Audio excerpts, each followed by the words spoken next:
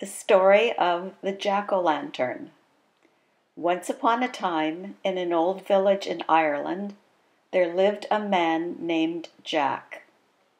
Jack was so mean that even the devil didn't like him. Jack kept every penny he had. He never shared.